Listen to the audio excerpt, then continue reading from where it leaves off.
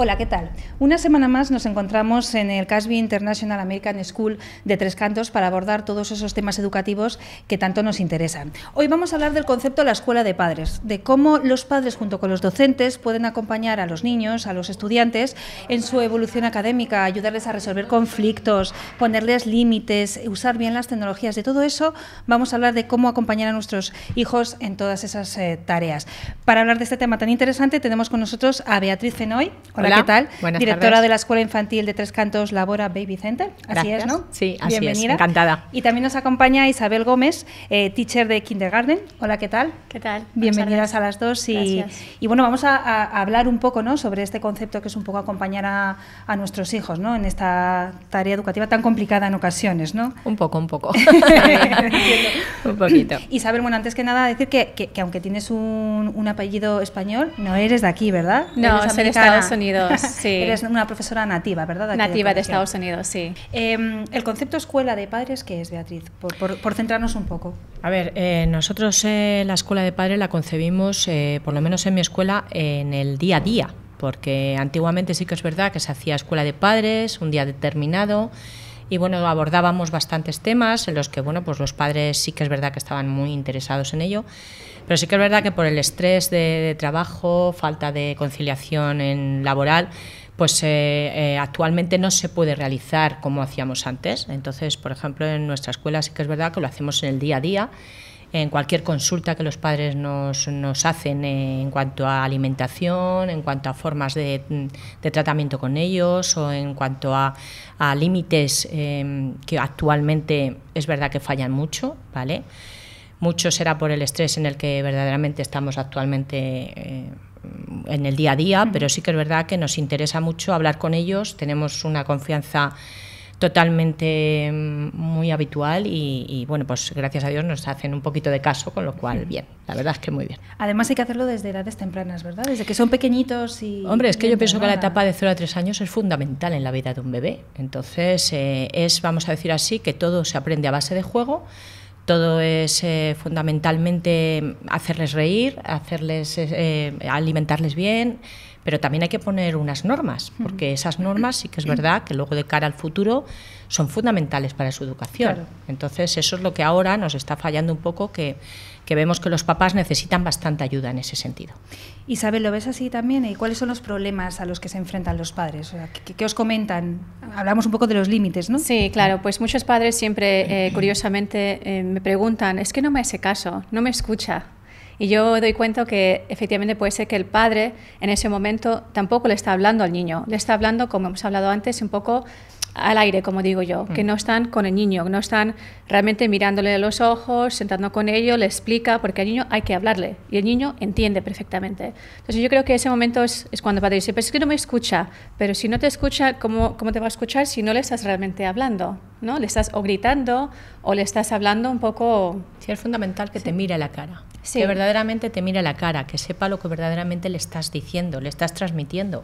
Hay a veces que, que, mm, cuando hablamos porque algún niño se ha portado mal, el padre es incluso que le hace hasta gracia. A ver, sí, eh, son niños de 0 a 3 años, lógicamente, además son preciosísimos, pero, pero yo muchas veces lo digo, es que ahora es la hora de educar. Ahora que si verdaderamente le educas desde la etapa de dos años, es mm, luego muy fácil la educación. El problema está en que si desde los dos años él ve que no tiene una figura uh -huh. en la que respetar, en la que verdaderamente cuando se dice no es no, entonces luego uh, traspasa.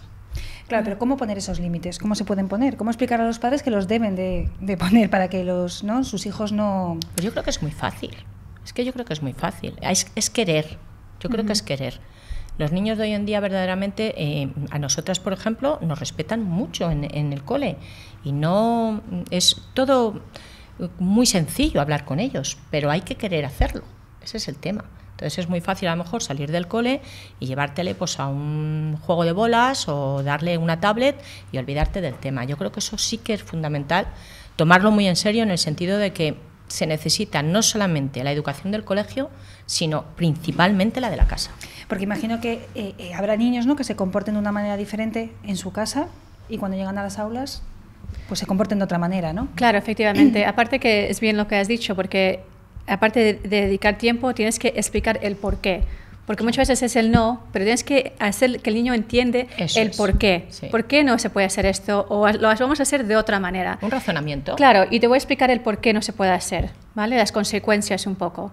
Eh, y sí, es verdad que el niño en aula es muy diferente como es en casa, porque también nosotros como educadoras, pues el niño no la relación no es la misma, Claro. porque no somos Claro. madres y padres, somos profesores. Entonces sí que es verdad que ellos tienen un poco de, pues, respeto a nosotros, ¿no? Ujú. Hablábamos también que mm, la sociedad evoluciona, ¿no? Y a lo mejor es verdad que tenemos menos tiempo, ¿no? Para estar con nuestros hijos, pero también se han ido perdiendo un poco esos valores, ¿no? Que- Sí, que- totalmente. Que tanto tenían Totalmente. antes las otras generaciones. Mira, yo a mis papás lo que les digo es que se, cuando vienen Reyes o vienen Papá Noel y estas cosas que les preocupa mucho comprar eh, regalos, por ejemplo, y les digo, mm, cógeles una caja de cartón, dales unas pinzas de la ropa y déjale que juegue, pero juega con él. Eso es lo mejor que puede dar un niño. El que tenga el trato con el padre y jugar con el padre. Se van a las máquinas eh, más eh, tecnológicas, que yo no entiendo, porque además los niños tienen que evolucionar, como evoluciona muy rápido la vida, pero también necesitan ese cariño. Y con ese cariño verdaderamente luego les sacas lo bueno de los niños. Y aprenden a ser más creativos también. ¿no? efectivamente, efectivamente. Es así. Eh, cuando los padres se acercan a hablar con, con vosotras, ¿qué os, ¿qué os cuentan? ¿Cuáles son sus problemas, sus mayores preocupaciones? Bueno, en, en la etapa, por ejemplo, eh, de pre-kindergarten, que es de 0 a 3 en España, eh, de todo, mm, tan sencillo como la alimentación, como el, el diaper rash, no sé cómo decirlo en español, eh, problemas con los pañales, eh, y luego más adelante sería pues el control de esfínter, sea, cómo abordar ese tema. O sea, para los padres es un que agobia mucho. Eh, luego pues le llega un hermanito, un bebé nuevo en la casa y no saben cómo los celos de los, de los hermanos, ¿no? Por ejemplo. Yo creo que ni- infinidades de, de dudas, ¿verdad? Sí, muchas. Y yo pienso que a los niños tan pequeños se les da demasiada información. Yo tengo padres, por ejemplo, que en cuanto en el minuto uno saben que están embarazadas, les informan a los hermanos mayores. ¿Qué Quizá no hace necesidad? falta, ¿no? ¿Qué necesidad? No, no hace falta, porque le estás creando una ansiedad desde el minuto uno que sabe que va a tener un hermano. Entonces yo creo que, a ver, hay que, lógicamente, informarles de cosas para que ellos aprendan, pero los niños están sobreestimulados, están sobreinformados. Cada cosa a su tiempo. Yo creo que ese es el mayor problema, que el estrés y la ansiedad que les estamos introduciendo a los niños luego no hace que ni se, mm, no se centren en muchas de las actividades que tienen que realizar en el aula o que verdaderamente estén nerviosos y, no, y concilien el sueño.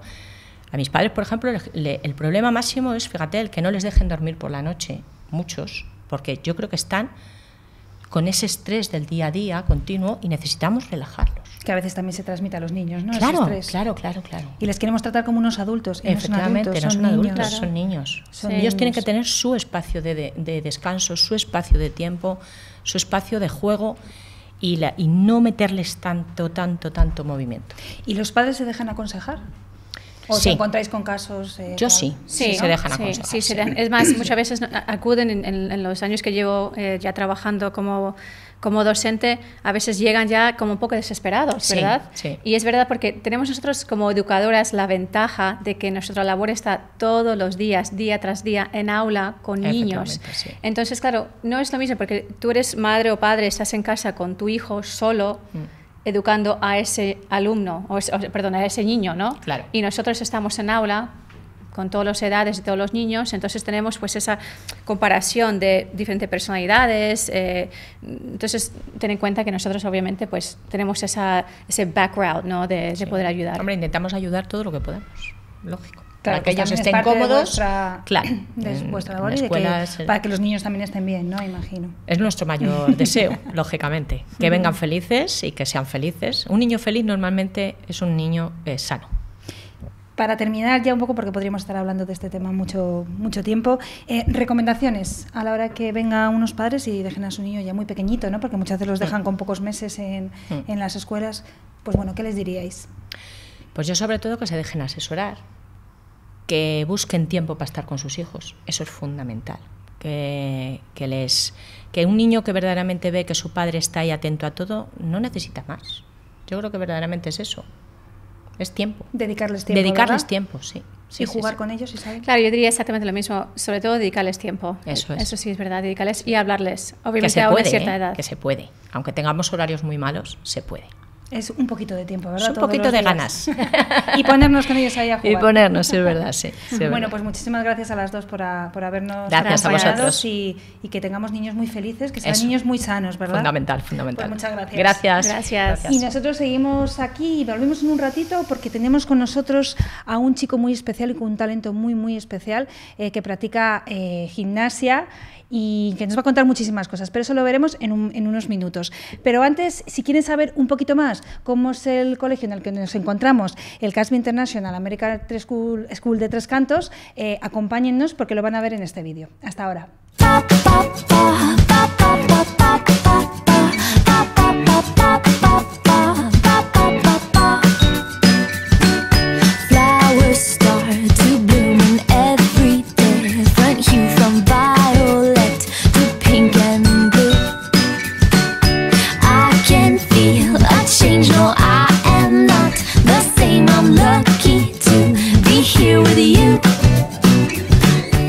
El año 85 con un colegio con 300 alumnos y ahora mismo somos cuatro edificios, 1.200 alumnos, otro colegio en Boadilla y ahora este de, Tres Cantos.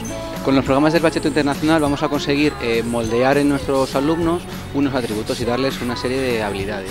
Queremos que, sean indagadores y pensadores. Le vamos a dar las herramientas y las claves para que sean capaces de, comunicar con, confianza y con creatividad delante de, de todo tipo de audiencias. También trabajaremos con nuestros alumnos sus habilidades sociales. Se trabajan desde la escuela infantil y durante toda la primaria hasta los 11 años. La lengua española se trabajará desde el español, igual que las ciencias sociales, pero todo lo que forme parte del currículo se trabajará en inglés y además de la forma del sistema americano.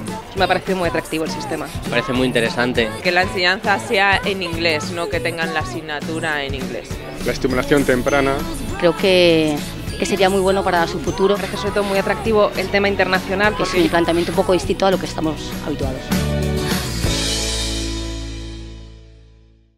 Hace unos minutos les dije que íbamos a estar con un alumno de CASB International American School de Tres Cantos que tiene muchísimo talento y lo tengo aquí a mi lado. Se llama Q Barry Ordóñez. ¿Qué tal estás? Muy Bienvenido. Digo que tienes mucho talento porque practicas gimnasia deportiva ¿no? y artística sí. a nivel competición ya, además. Sí. Bueno, antes vamos a presentar a tu padre que también nos podrá contar muchas cosas, ¿verdad? Se llama Alfonso Barry, bienvenido. ¿Qué tal? Muchas gracias. ¿Qué tal? Tenemos un talento aquí, ¿no? Sí, sí, sí. Le gusta mucho, ¿eh? Bueno, cuéntanos. Y entrena duro, que eso es lo más importante. Sí, imagino que será un entrenamiento muy duro. Ahora nos contaréis él cómo, quiere entrenar, sí, sí, sí. Cómo hacéis el día a día, cómo es tu día a día y cómo entrenas. Pero cuéntanos un poco, ¿cuándo empezaste a practicar gimnasia? Empecé hace un año y un poquito... O sea que llevo muy poquito tiempo y he ido al Campeonato de España y a muchos otros campeonatos. Eres un campeón, pero total, ¿eh? ¿Y, y cuándo te diste cuenta que, que, te gustaba hacer gimnasia? A partir de los tres años. O sea, no a nivel profesional, pero ya me empezaba a poner a hacer prim, pinos y volteretas y me gustaba.